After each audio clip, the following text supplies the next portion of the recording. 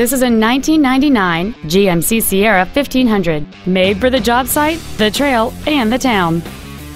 It features a six-cylinder engine and a manual transmission. We invite you to contact us today to learn more about this vehicle.